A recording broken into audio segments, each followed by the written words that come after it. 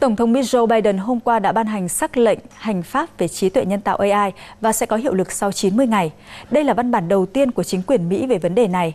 Phản ánh chi tiết của phóng viên truyền hình Việt Nam tại Mỹ. Trong văn bản này, Nhà Trắng yêu cầu các sản phẩm AI phải được kiểm tra và thử nghiệm, đảm bảo không được sử dụng cho việc sản xuất vũ khí hóa học và vũ khí hạt nhân.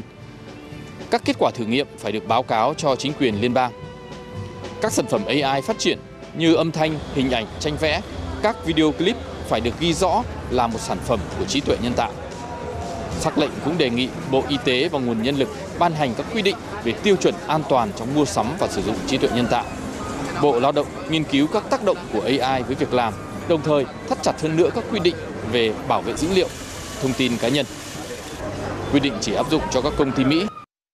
Chính quyền Mỹ đã nhiều lần kêu gọi tăng cường ứng dụng AI trong lĩnh vực y tế và khí hậu, bảo vệ người sử dụng, đảm bảo cân bằng giữa việc đưa ra các quy định nhằm hỗ trợ cho các công ty Mỹ đứng đầu trong cuộc đua về AI, đồng thời tránh được những rủi ro thách thức về an ninh.